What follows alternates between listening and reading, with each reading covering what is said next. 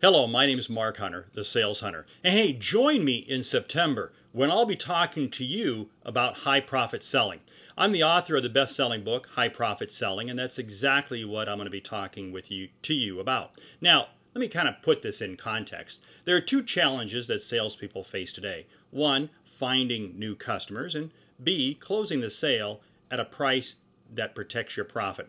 And I say the two go hand in hand. And I'm going to share with you proven techniques that I've used, that I've shared, have put into play with companies all over the US and around the world. I travel more than 200 days a year, and I'm looking forward to meeting with you and sharing with you in September. In the meantime, check out the website, thesaleshunter.com. It's all one word, thesaleshunter.com. And hey, on that website, you can download a chapter of the book or just go to Amazon and check out High Profit Selling.